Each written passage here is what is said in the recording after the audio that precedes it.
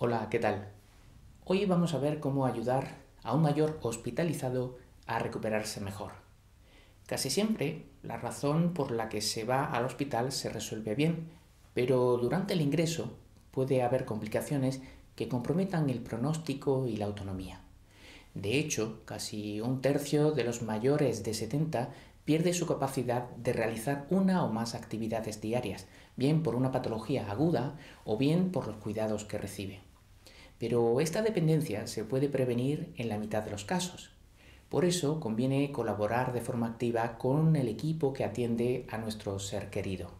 La mejor manera es vigilando las situaciones que pueden dar lugar a dependencia. ¿Y cuáles son?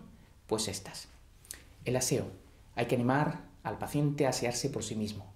La orientación. Existe el riesgo de confusión, por lo que será de ayuda orientarle en el espacio y el tiempo.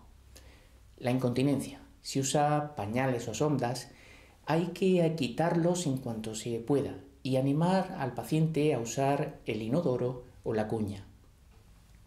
El tratamiento. Revaluar regularmente la pertinencia de las perfusiones, el oxígeno y las sondas de medición.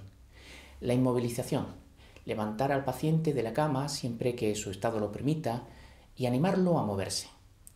La comida, si es posible, adecuar los alimentos y sus texturas a los gustos del paciente, evitar dietas restrictivas y procurarle una evaluación nutricional.